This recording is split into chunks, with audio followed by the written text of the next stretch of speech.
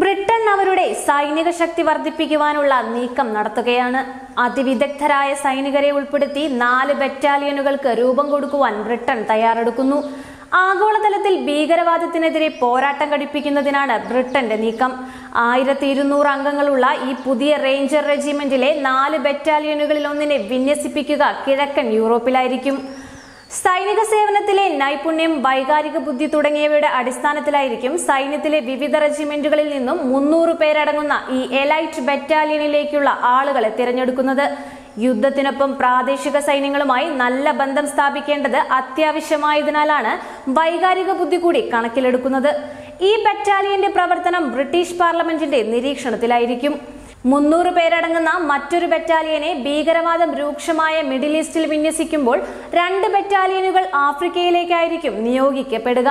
തങ്ങളെ പോസ്റ്റ് ചെയ്യുന്ന നാടുകളിലെ ഭാഷ അറിയില്ലെങ്കിൽ ഈ ബറ്റാലിയനിലുള്ളവർ ഭാഷ പഠിക്കേണ്ടതുണ്ട്. അതുകൊണ്ട് തന്നെ സഖ്യരാജ്യത്തിലെ സേനാംഗങ്ങളുമായുള്ള ആശയവിനിമയം കൂടുതൽ കാര്യക്ഷമമാകും. മാത്രമല്ല വളരെയധികം പ്രവൃത്തി പരിചയമുള്ള പക്വതയാർജിച്ച സൈനികർ മാത്രമായിരിക്കും ഈ ബറ്റാലിയനിലേക്കായി തിരഞ്ഞെടുക്കപ്പെടുന്നത്.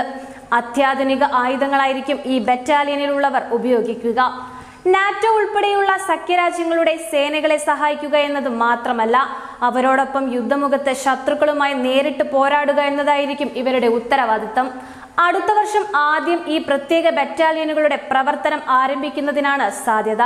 യുദ്ധമുഖത്തിലെ ഏറ്റവും സുപ്രധാനമായ മേഖലകളിലായിരിക്കും ഈ ബറ്റാലിയനെ വിന്യസിക്കുക. കണ്ടുപിടിക്കാൻ കഴിയാത്ത ആറ് ഇഞ്ച് ബ്ലാക്ക് ഹോണറ്റ് ഉൾപ്പെടെയുള്ള ഡ്രോണുകൾ മൾട്ടിപ്പിൾ ലോഞ്ച് റോക്കറ്റ് സിസ്റ്റം എന്നിവ ഇവരുടെ പക്കലുണ്ടാകും.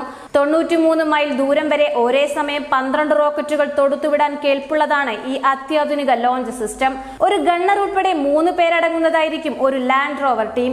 ഇങ്ങനെ അത്യാധുനിക സംവിധാനങ്ങളൊക്കെ അടങ്ങുന്ന സൈനിക ബറ്റാലിയൻ രൂപീകരിച്ചതുകൊണ്ട് ബ്രിട്ടൻ ഭീകരവാദത്തിനെതിരെയുള്ള പോരാട്ടം ശക്തമാക്കുന്നതിനുള്ള നീക്കമാണ് നടത്തുന്നത്.